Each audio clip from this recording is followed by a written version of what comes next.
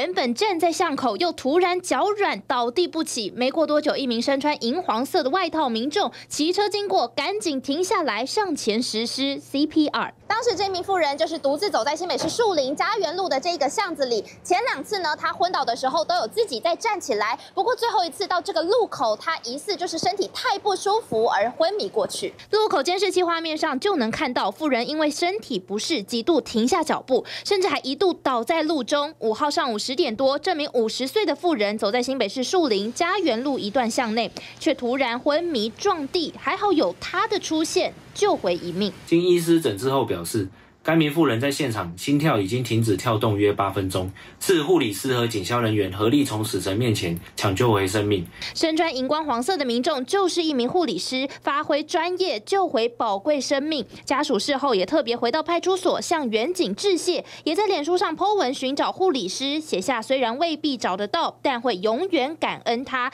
也表示妇人目前的状况已经稳定下来。TVB 选中文中宣新北市采访报道。Thank you.